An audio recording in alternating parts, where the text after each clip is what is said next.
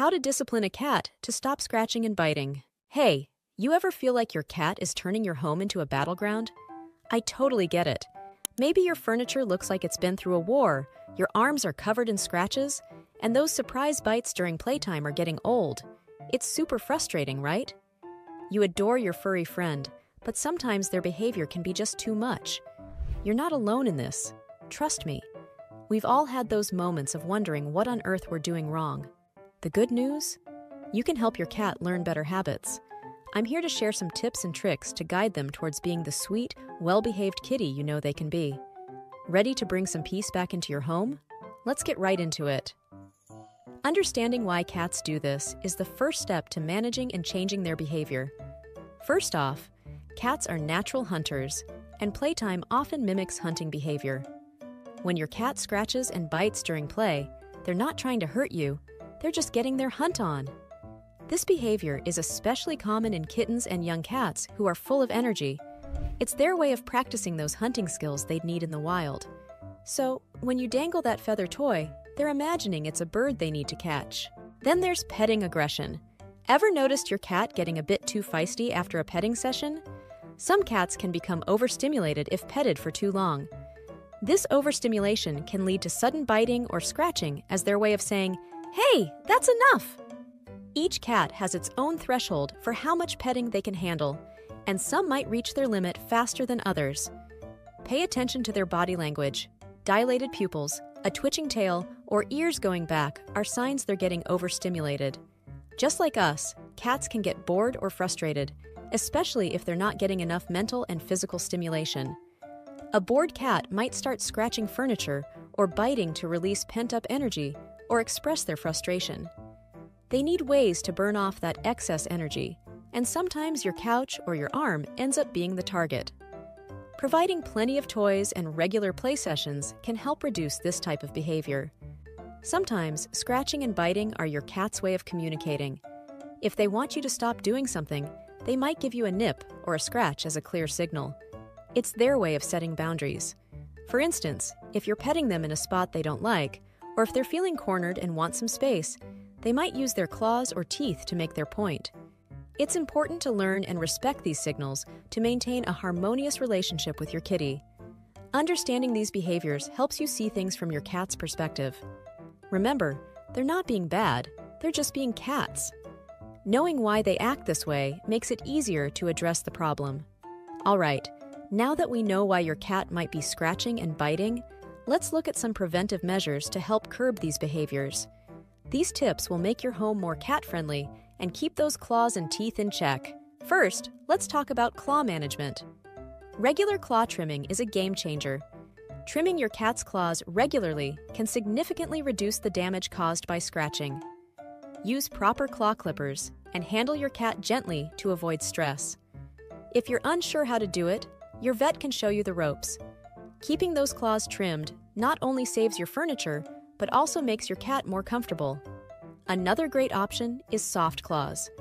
These are tiny, soft covers that you glue onto your cat's claws. They prevent sharp scratching and can be a good solution if your cat is particularly destructive. They usually last a few weeks before needing to be replaced. It's a painless and effective way to protect your home from claw damage. Now, on to scratching alternatives. Cats need to scratch, it's just part of being a cat. So, give them something they can really dig into. Place multiple scratching posts around your home.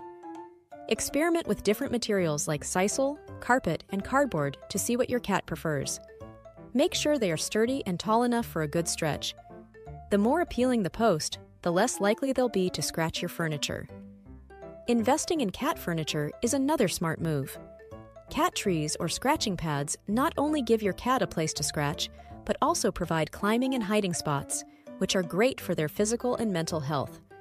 Cats love to perch up high and observe their surroundings, so a good cat tree can keep them entertained and happy. Let's not forget about environmental enrichment. Keeping your cat engaged with a variety of toys is crucial. Interactive toys, puzzle feeders, and even simple things like a ball of yarn can keep your cat occupied. Rotate toys regularly to keep things interesting.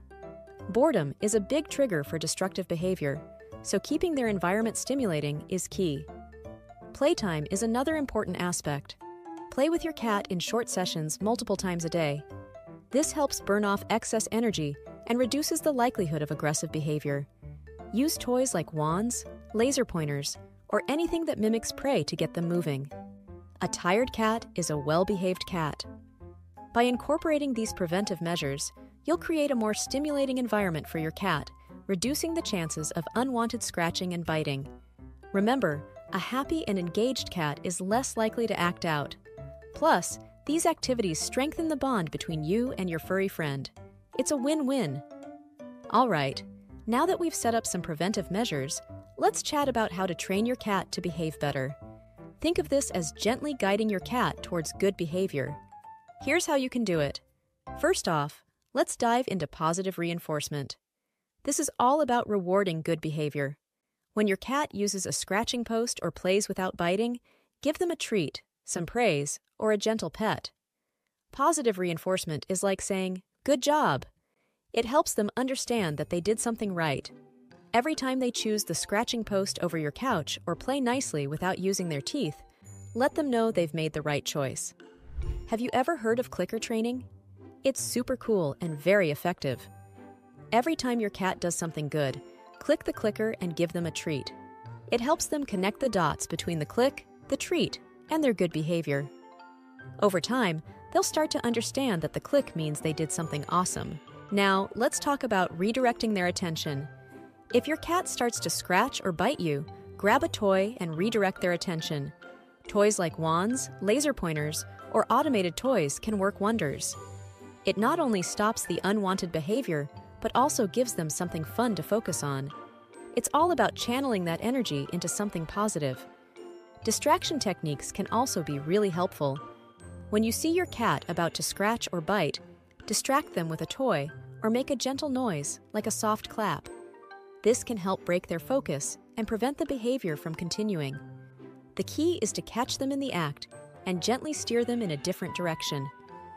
Teaching boundaries is another important aspect. If your cat gets too rough during play, stop the interaction and walk away. Ignore them for a few minutes. It's like saying, Playtime's over because you got too rough. They'll start to get the hint that biting and scratching ends the fun. Consistency is key here.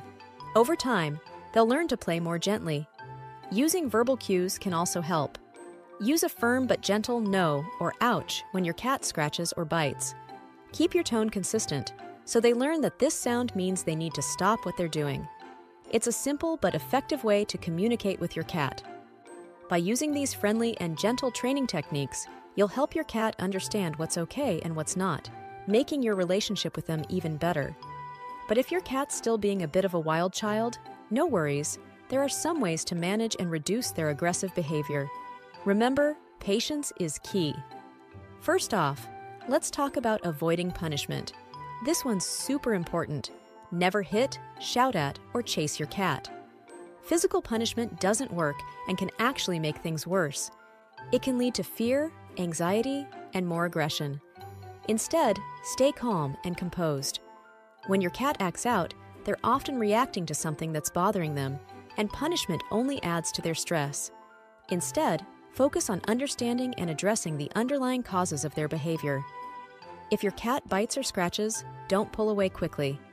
This might trigger their hunting instincts and make them want to bite or scratch even more.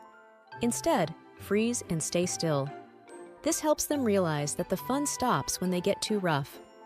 Pulling away quickly can sometimes mimic the movements of prey, making them more excited and likely to continue their behavior.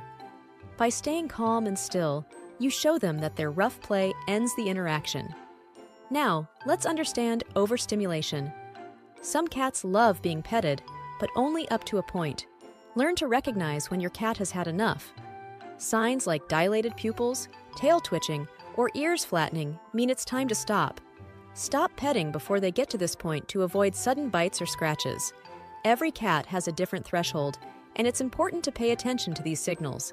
It's like they have a petting meter, and once it's full, they need a break. Knowing your cat's limits helps prevent those unexpected bites and scratches. If you're worried about overstimulating your cat, set a timer for your petting sessions. Start with short periods and gradually increase the time as your cat becomes more comfortable. This helps them get used to longer petting sessions without getting overstimulated. Over time, you can build up their tolerance, but always watch for signs that they've had enough. Creating safe spaces is also crucial. Designate specific areas in your home where your cat can play and release their energy. These zones should be safe and filled with toys and scratching posts. It helps direct their energy into appropriate activities. Cats need to have outlets for their natural behaviors like scratching and climbing. By providing these spaces, you give them a place where they can be themselves without causing trouble. Let's make sure your cat has some calm retreats. Cats need a quiet, calm place to retreat to when they feel stressed or overstimulated. This could be a cozy bed in a quiet room or a high perch where they can observe without being disturbed. Think of it as their little sanctuary where they can chill out and relax. Cats often feel safer when they can get a bird's eye view of their surroundings, so providing a high perch can be really comforting for them.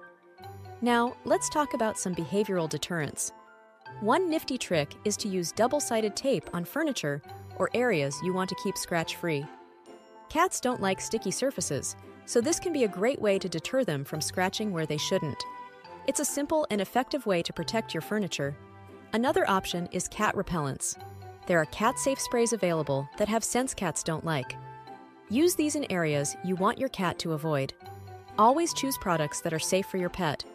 These sprays can be particularly effective in keeping your cat away from certain spots without causing them any harm. Consistency and patience are absolutely essential. Cats thrive on routine, so establishing a consistent schedule for feeding, playtime, and training can help reduce stress and behavioral issues. Predictability makes them feel secure, and a secure cat is a happier, better behaved cat. Make sure you stick to the same times each day for their activities. Changing behavior takes time, so be patient and consistent with your training and preventive measures. Celebrate small victories along the way. If your cat goes a whole day without scratching the couch, give them a little treat. Positive reinforcement goes a long way in helping them learn what's acceptable. By following these tips, you'll be well on your way to managing and reducing your cat's aggressive behavior. They'll learn what's acceptable and feel more secure in their environment. Thanks for watching. If you enjoyed the video, don't forget to subscribe to our channel and smash that like button. Your support means a lot to us.